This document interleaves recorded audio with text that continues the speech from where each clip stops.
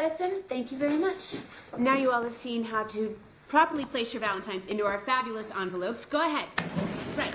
And while you were doing that, quietly, a little history about Valentine's Day. Valentine's Day was a massacre in Chicago where they shot everybody and put a curse on the Chicago Cubs. Thank you for sharing, Franklin, but this is a different Valentine's Day. Okay, in ancient Rome, Emperor Claudius II, who was also known as Claudius the Cruel, Claudius the Cruel banned all marriages because he wanted his soldiers to concentrate on war. But there was a priest who was known as Valentine who secretly married everyone anyway because he believed in love. Claudius found out about the secret marriages and he threw Valentine in jail. Girls, I'm watching you. Shh. Thank you. Anyway, on February the 14th, Valentine wrote a note to his beloved and he signed it, Farewell from your Valentine. Let's see. Are there any questions?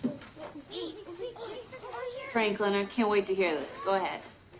Miss Fitzpatrick, are you in love with anyone?